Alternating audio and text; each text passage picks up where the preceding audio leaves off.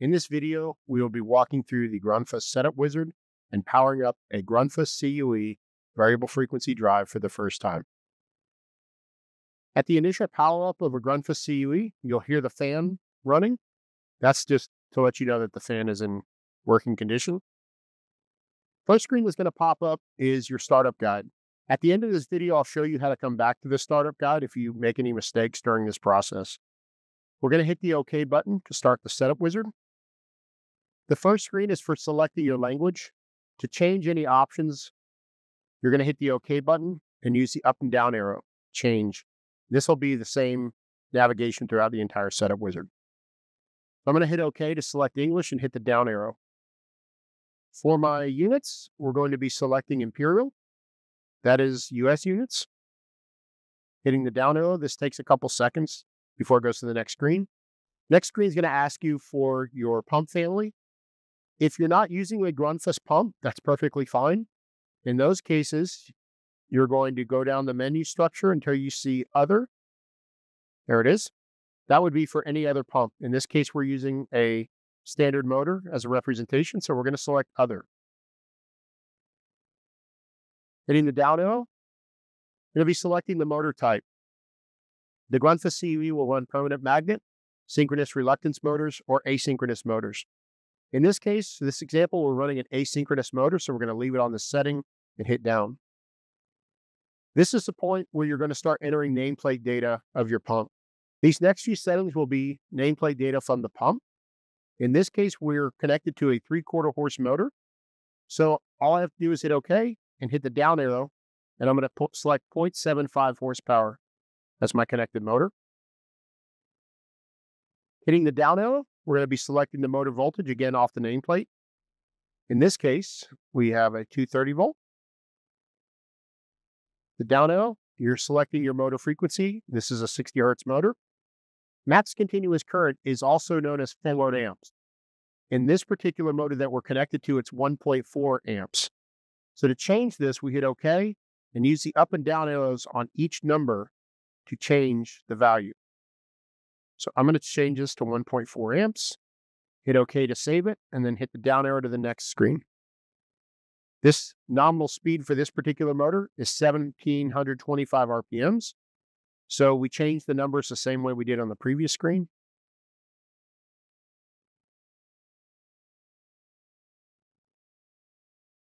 Hit OK to save it.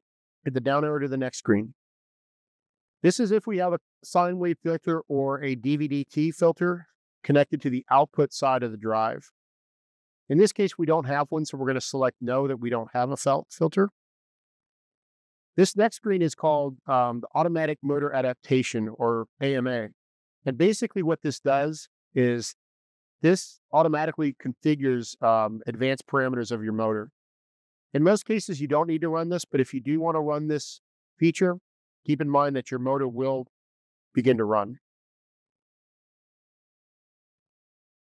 We're going to skip that and go to the next screen.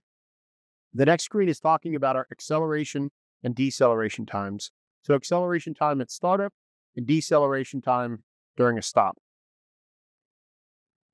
Keep going down to the next screen. We're going to be looking at our acceleration time used below minimum speed. So the CUE has a minimum speed setting this is the time it takes from when a pump starts till it reaches that minimum speed. This setting can help prevent overloading during initial startup. So we're going to leave it at default setting at one second and go to the next screen. Now we're going to do motor rotation to make sure your pump is starting in the right direction. So we're going to hit the OK button and say, yes, we want to do a motor rotation check. Then we hit the down arrow that's going to let us know that the motor may be running in the wrong direction. So your pump may be running backwards. We hit OK. And it gives you a little instruction on what to do. In this case, we're going to be hitting the hand on button to start the motor. So this would be starting your pump and you'd want to check your rotation.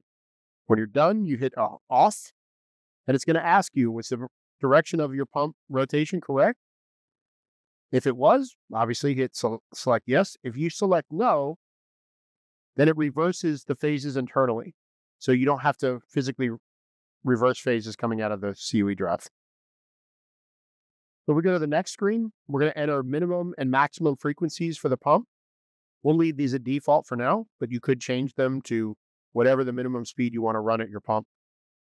Maximum speed is the next setting. The next screen is talking about our application, whether it be in closed loop or open loop application, as the Grundfos CUE can run closed loop applications with the sensors running directly into the CUE. For this example, we're going to be setting that CUE up to run a constant pressure where we actually run the physical sensor directly into the CUE. In this case, however, if we're running an external signal from, let's say, a PLC or some other controller that's sending us an analog speed reference signal, we would select open loop in that condition. But we're not, so we're going to be running it as constant pressure. Hitting the down arrow, it's going to ask, what is the physical sensor that's wired in to the CUE? What is the sensor range?